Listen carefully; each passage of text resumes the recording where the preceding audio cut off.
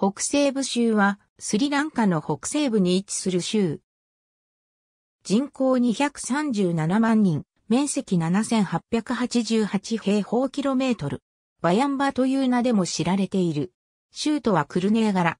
住民の大多数はシンハラ人である。プッタラム周辺には少数民族のスリランカムーアが居住する。主な産業は漁業、エビの養殖、ゴムの木のプランテーションである。スリランカの北西部に位置し、北部州、北中部州、中部州、サバラガムワ州、西部州に接する。西はマンナール湾に面する。北西部州の行政区画北西部州は2つの県から構成される。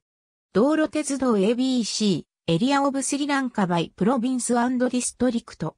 スリランカ統計局。